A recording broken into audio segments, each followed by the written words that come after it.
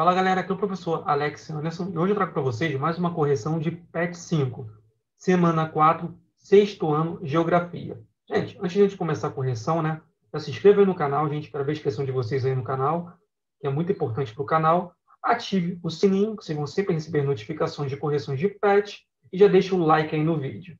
Então vamos lá, gente, vamos para o que nos interessa, para correção. Então, né, gente, unidade temática, formas de representação e pensamento espacial, objetos de conhecimento, fenômenos naturais, sociais, representados de diferentes maneiras. Gente, esse PET, né, como a gente viu no trecho lá que tem nele, ele fala né, sobre a importância do ecossistema. Lembrando que o ecossistema é importantíssimo, né, gente? O que, que seria esse conceito, essa definição de ecossistema? Então, o ecossistema é uma interação do meio abiótico com biótico. Biótico significa vida, bio vem de vida. Abiótico, sempre que tem um A esse A antes significa o A significa negação. Então, esse abiótico, negação da vida. Então, essa interação de biótico com abiótico é o que a gente chama de ecossistema. Então, seria a interação da vida, dos seres vivos, né?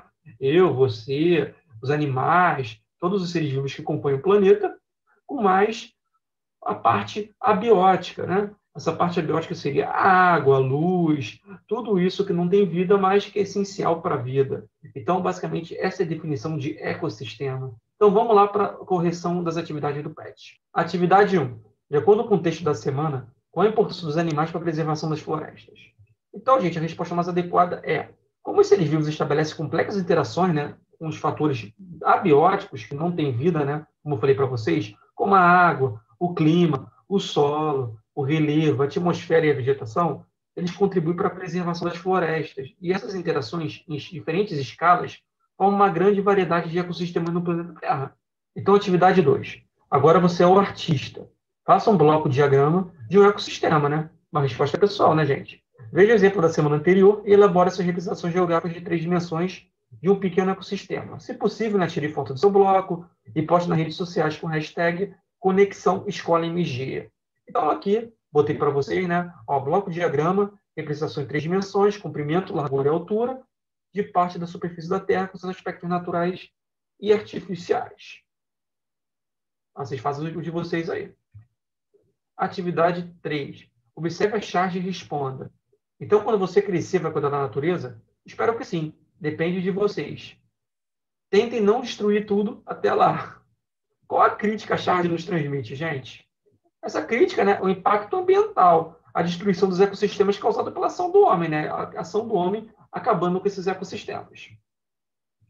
B. Comente como esse problema afeta toda a sociedade. Pô, gente, vamos só pensar. Se o homem destrói o meio ambiente, os recursos naturais como água ou até mesmo nossos alimentos podem ficar escassos e prejudicar as gerações futuras. Então, né, gente, o homem mexendo nesse ecossistema acaba com a água, os alimentos podem ficar escassos, né? E as gerações futuras ter todo esse prejuízo. Né? E atividade 4, elabore um croquis de um rio com um mapa ciliar preservada de um lado da margem e de outro lado uma mata ciliar devastada. Mata ciliar é vegetação árvores e fica às margens de rios, igarapés, lagos, olhos de água e represas. Se possível, tire foto do seu croque e poste aqui nas redes sociais com hashtag conexão escola MG. Né? O exemplo aqui que eu botei para vocês né, do COC é desenho esquemático esboço à mão livre dos principais elementos de uma paisagem. Em geral, o esboço é chamado de croque cartográfico quando apresenta o espaço visto de cima em visão vertical. É só vocês fazerem de vocês. E atividade 5, diante do que foi estudado nas últimas semanas, responda: é possível representar o mundo como ele realmente é? Gente, claro que não, né? Apesar de muitas maneiras diferentes de representar um ambiente, sempre haverá distorções da realidade de todas as representações.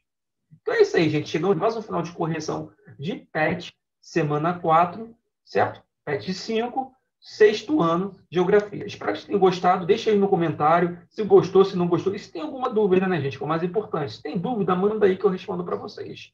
Gente, se inscrevam no canal, quero ver as inscrições aí bombarem, certo? E ative o sininho para receber notificações.